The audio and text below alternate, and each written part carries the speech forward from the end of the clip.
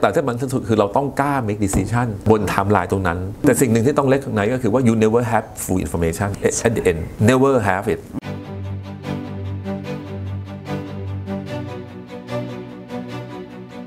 Decoding the Great and Enduring Wisdom from 30 Leaders ประสิทธิ์บุญดวงประเสริฐ ประธานคณะผู้บริหาร บริษัทเจริญโภคภัณฑ์อาหารจำกัด มหาชน ในฐานะที่ประสบความสำเร็จมาถึงขอบคุณระดับตำแหน่ง CEO ของ CPF น่าจะมีข้อคิดประสบการณ์ดีๆ ให้กับน้องๆ หลายๆ คน ก็เลยขอเริ่มด้วยคำถามนิยามของคำว่า leadership เนาะอยากรู้ว่าคุณประสิทธิ์เนี่ยให้คำนิยามกับคำนี้ว่าอย่างไร leadership เนี่ยจริงๆ มันคือใครก็ได้ในองค์กรนะครับที่อยากจะทำอะไรก็ได้ให้องค์กรดีขึ้น ไม่จำเป็นต้องเทคด้วยแต่ position เพียงแต่ position เนี่ยช่วยทำให้คนคนนั้นน่ะ ทำความตั้งใจในฐานะที่จะเป็น leadership ให้สำเร็จได้ง่ายกว่า ส่วนการที่จะมาเป็นผู้นำองค์กรเป็น CEO เองเนี่ยผมเชื่อมันมีได้ 2 มุม มุมที่ 1 คือ being CEO เพื่อ success ของตัวเองมากกว่าองค์กรกับ being a CEO or leadership position เพื่อความสำเร็จขององค์กร และเราเป็นส่วนหนึ่งของความสำเร็จอันนั้น ซึ่งส่วนตัวเองเราก็เชื่อว่าแบบ2เนี่ยคือแอสองค์กรเป็นเป้าหมาย แล้วเราเป็นส่วนหนึ่งของความสำเร็จอันนั้นขององค์กรพร้อมๆไปกับทีมเมมเบอร์ของเรา leader แต่ละคนก็มี journey ของตัวเองประสบการณ์ในชีวิตของเรา มีส่วนทำให้เราเป็นคนคนนี้ ถ้าย้อนหลังกลับไปมีเหตุการณ์อะไรในเส้นทางการเป็นผู้นำสร้างให้เราเป็นคนคนนี้ ที่ผมเป็นถึงทุกวันนี้ได้เนี่ยมันมีอยู่ 2 เรื่อง อันที่1เนี่ยเป็น background ทางด้านการศึกษากับการทำงานนะครับพอเราเรียนบัญชีการเงินเราก็เลยมีความแม่นยำในเรื่องของการวิเคราะห์ข้อมูล ทั้งวิธีการได้มาซึ่งข้อมูล กับวิธีการเอาข้อมูลจากระบบบัญชีขึ้นไปใช้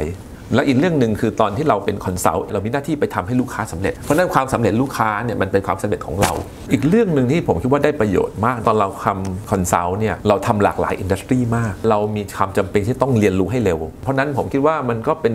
ข้อดีคือทำให้เรา adapt ตัวเอง มันก็ติดเป็นนิสัยว่าเราต้องเรียนรู้เรื่องใหม่ ตอนที่มาอยู่ที่ CPF ก็เป็นคนที่ถูกเปลี่ยนงานเยอะเหมือนกันทำตรงนี้สักพักหนึ่งก็เปลี่ยนไปทำตรงนี้ หรือทำตรงนี้เพิ่ม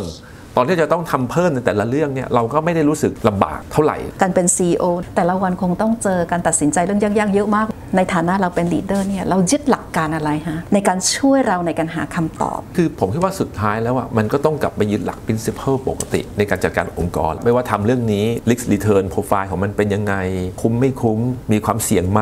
เรื่องที่2 speed ในการตัดสินใจ ในองค์กรที่ใหญ่อย่าง F เนี่ยเรื่องมันเยอะมากที่จะเข้ามา ถ้ามันเรื่องอะไรขึ้นมาถึงเราเนี่ยแสดงว่ามันต้อง very important ผมก็คิดว่าถ้าคนที่คิดว่าตัวเองอยากจะเป็น leader in the future ที่ประสบความสำเร็จไปเรื่อย ๆ ในองค์กรขนาดใหญ่ หรือจะของตัวเองก็ได้คุณต้องขยัน take risk เอ่อยกตัวอย่างเช่น CP Magic ตอนเราไปทำเป็น3,000 ล้านเอง พอเราทำให้มันโตขึ้นมาเป็น 5 6 0 0ล้าน เราก็เทค decision ตรงนั้น พอเราย้ายมาที่นี่ปุ๊บเนี่ยมัน 30,000 แต่ถ้าเราไม่เคยเทคตัว 3,000 5,000 จะให้มาเทค 30,000โอ้โหมันก็มือไม้สั่นนะ หรือไม่ก็ take แล้วมั่ว และบริษัทก็จะเจ๊งมันก็ไม่เจริญเติบโต แต่ที่มันที่สุดคือเราต้องกล้า make decision บนไทม์ไลน์ตรงนั้น แต่สิ่งหนึ่งที่ต้องเล็กข้างในก็คือว่า you never have full information at the end never have it เพราะฉะนั้น you ต้องรู้ว่า you จะเอาอะไรและ you เพียงพอในการ ต้องการ info ไม่งั้น you ต้องการ info ไป forever นะครับงานผมมันไปไม่ได้เลย CPF ก็เป็นแบบอย่างให้ความสำคัญในการพัฒนาผู้นำสำหรับ CPF เรามีความเชื่ออะไรในเรื่องของสร้าง future leader ต้องบอกว่าองค์กรเนี้ถึงแม้จะเป็น Public Company แต่ Operation Wise เนี่ยยังเป็น Entrepreneurship ก็เป็นสไตล์ Growth Thinking นะครับองค์กรเนี้เขาคิดแต่เรื่องจะโตไปข้างหน้าอย่างไรใน terminology ของเราเนี่ยวิกฤตคือโอกาสเสมอ ถ้าเราสามารถจัดการมันได้ดีกว่า เร็วกว่า หรือมองมันได้ก่อนชาวบ้านเขาเนี่ยเราก็จะสามารถจัดการได้ดีกว่านะครับเพราะนั้นเขาก็จะมอง positive ตลอดเวลา จะเห็นว่าเวลาที่ท่านทานอาวุโส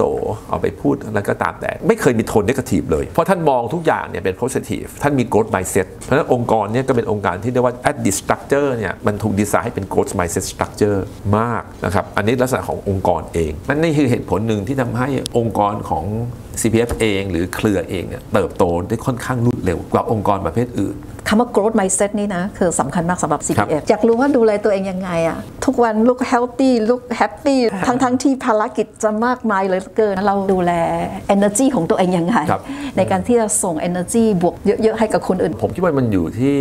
เราต้องคิดตั้งแต่ต้นว่าเราในฐานะผู้นำเราตั้งเป้าหมายไว้ยังไง ถ้าเรายึดเป้าหมายของเราไว้แข็งให้สตรองเนี่ยนะครับเราก็จะมีเป้าที่จะไปทำให้สำเร็จในทุกๆวันได้ ก็คิดว่าจริงๆ CPF นี่พูดถึงเมื่อ 10 กว่าปีที่แล้วนะครับน่าจะเป็นบริษัทหนึ่งที่มีโอกาสเป็น global firm เพราะมีไซส์ที่ใหญ่พอที่จะไปแข่งขันกับชาวบ้านเขาได้นะครับแล้วเราคิดว่าเอ๊ะทำไมไทยคัมพานีถึงจะแข่งกับ global ไม่ได้เหรอ แต่ผมคิดว่าพอเราเห็นอย่างนี้ปุ๊บอะเรามี objective ชัดเรามี positive แล้ว how to make it success ถ้าเรามี positive ปุ๊บเราก็จะรู้สึกดี อย่างน้อยสุดเรามาทำงานมันจะยากเราก็รู้สึกโอเค at least แล้วพอเรา make decision ทำให้เรื่องสำเร็จ เราก็จะเห็น success แต่ว่าด้วยองค์กรที่ใหญ่มากในการ success หนึ่งเรื่องมันไม่พอมันต้อง success จำนวนเยอะถึงจะผลักดันให้องค์กรใหญ่ได้ ประสิทธิ์เมื่อกี้บอกว่าได้ข้อคิดจากคุณอดิเรกที่เกี่ยวกับอะไรไม่ได้อยู่ใน textbook ตอนที่มาอยู่ที่นี่นะอันหนึ่งที่ประทับใจมากนะครับก็คือความรู้ในการจัดการองค์กรที่มันไม่อยู่ในเทคบุ๊กก็เป็นการเรียนรู้ที่ได้จากอดีต CEO ซึ่งตอนนี้ต้องขึ้นเป็นประธาน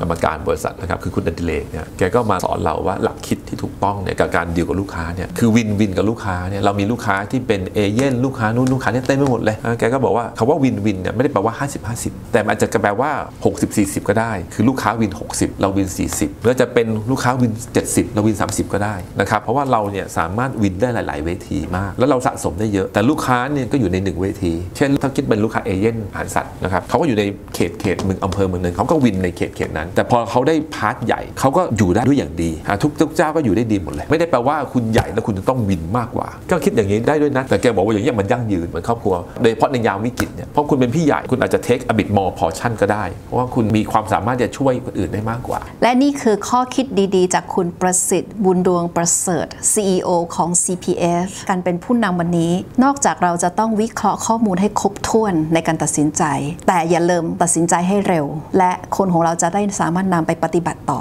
การตัดสินใจที่แย่ที่สุดก็คือ ไม่มีการตัดสินใจ วันนี้ leader ต้องพร้อมที่จะ take risk ทั้งๆทที่บางครั้งข้อมูลเราอาจจะไม่ครบถ้วน และชอบมากคำหนึ่งที่คุณประสิทธิ์บอกว่า ผู้นำคือทุกคนที่คิดหรือตั้งใจที่จะทำดีเพื่อองค์กรเพื่อคนอื่น คุณก็คือเป็นผู้นำและเมื่อไหร่เราจะไปทำธุรกิจหรือลงทุนที่ไหน อย่าเริ่มคิดถึงผลประโยชน์ของคนอื่น